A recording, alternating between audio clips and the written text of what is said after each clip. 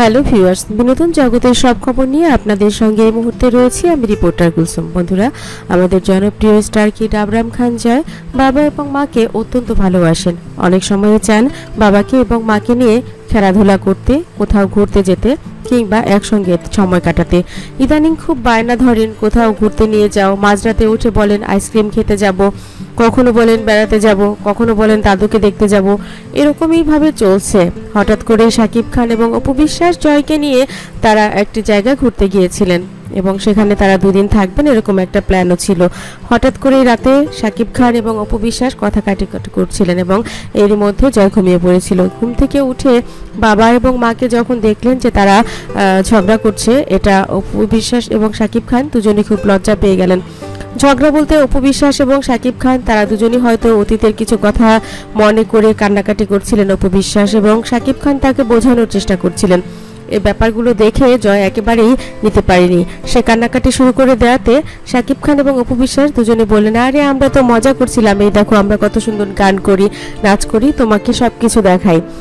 শাকিব খান এবং অপু বিশ্বাস এই জুটি একসময় অনেক নাম করা সিনেমা করেছেন এবং সেই সিনেমাগুলো থেকেই তখন তারা তার একমাত্র সন্তান আব্রাম খান জয়কে বেশ কিছু অংশ দেখালেন।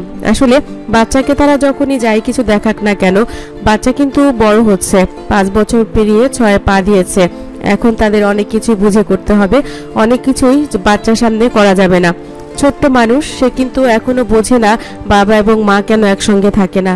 এখনও বোঝে না তার নানিমা কোথায় চলে গেছে। উপবিশ্বাসে মা মারা গেছেন আজ এক বছর হয়ে গেছে। একটা বছর পূর্ণ হয়ে গেছে উপবিশ্বাস। কান্না করছিলেন মায়ের কথা ভেবেই। সাকিব খানকেও অনেক ভালোবাসতেন উপবিশ্বাসের মা। সেই কথাগুলোই মনে করিয়ে দিচ্ছিলেন উপবিশ্বাস এবং কাঁদছিলেন মায়ের কথা ভেবে। সাকিব খান তাকে সান্ত্বনা দেওয়ার চেষ্টা করেছিলেন, ভুলগুলো বলার চেষ্টা করছিলেন। ছোট্ট জয় এর কোনোটাই বুঝতে পারেনি। জয় ঘুম থেকে উঠে এসে বাবা মায়ের চোখের জল দেখে সে হক চুকিয়ে গিয়েছিল।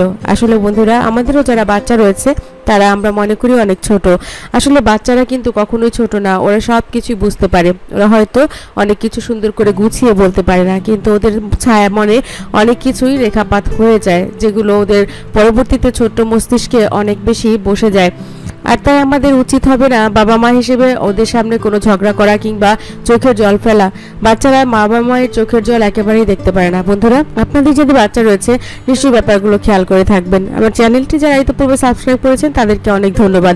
আর আমার চ্যানেলটি আপনাদের কাছে কেমন লাগে কমেন্ট করতে ভুলবেন না। আমার চ্যানেলটি যারা ইতিপূর্বে সাবস্ক্রাইব করেছেন, তাদেরকে অনেক ধন্যবাদ। যারা এখনও করেননি, সব খবর সবার আগে পেতে সাবস্ক্রাইব করে বেল আইকনে ক্লিক করলে আপনাদের কাছে পৌঁছে যাবে বিনোদন জগতে সব খবর সবার আগে। ধন্যবাদ।